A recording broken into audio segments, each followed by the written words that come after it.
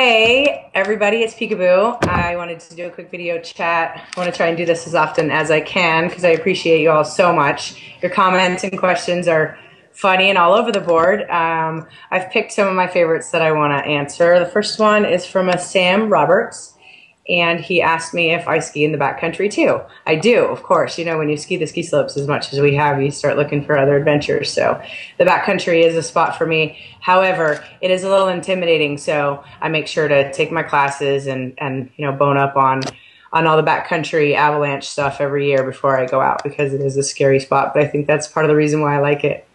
I guess you're probably out there too. Happy trails this winter. Thanks for writing in, Sam. All right, the next one is from uh, Vale Ashley.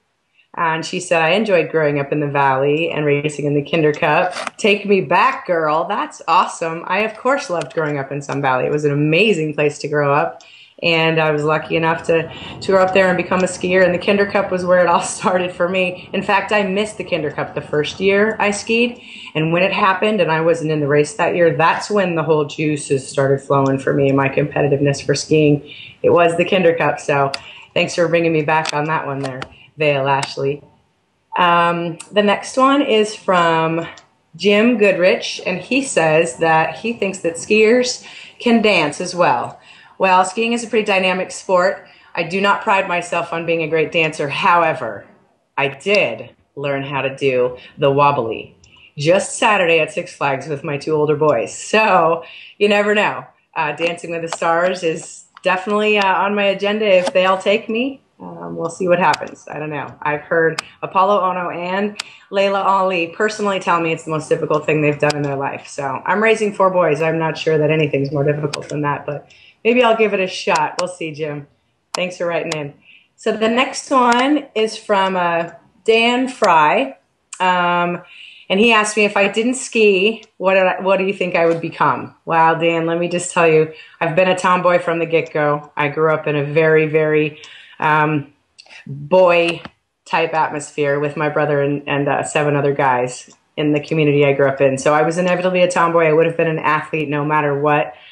I, I happened to grow up in a, in a snowy environment, and skiing it is. And um, I think that the thing, if I could have anything more in my life than I have now, it would just be more young play, pretend like I'm the kid time. And luckily, I have four kids that allow me to do that. But I think we all want to be young again. It's not so fun to grow up and be responsible, it's kind of a burden.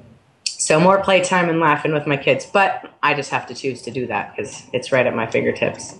Thanks, Dan. So, let's see. The next one is Thomas Buckingham. And, uh, no, hang on. Let's go Sandy Hauer Schnorr.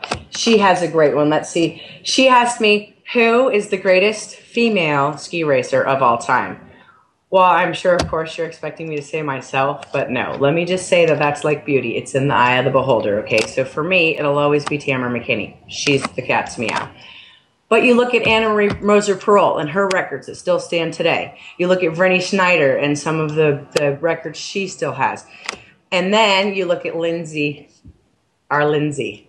Okay, she's nine races away from being able to have that title. I'm not going to give it to her till she's got it, but my money's on her. And I hope that we can call a fellow an American um, the greatest female skier ever. And so go, Lindsey, go. I'm on, I'm on Team Lindsey. So my money's on her to, to win that one. So, um, thank you everybody for writing in. It's really awesome to read all your questions and know what you're thinking. I want to encourage you to um, sign up Launchpad Gear Contest, okay, because today it's a Shutterfly gift certificate. Wednesday, we have a Walmart gift certificate. And then on Friday, I have a signed bib that I wore and raced in as our winning, as our winning piece. So sign up, share, and um, good luck.